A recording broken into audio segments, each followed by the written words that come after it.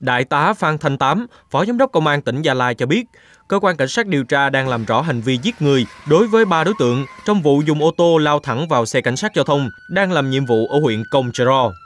Chiều ngày 27 tháng 7, Tổ cảnh sát giao thông công an huyện Công Trò đang làm nhiệm vụ tại khu vực thị trấn Công Trò thì nhận được tin báo có một ô tô 12 chỗ biển kiểm soát 60K7065 nghi chở gỗ lậu đang lưu thông trên đường qua thị trấn này.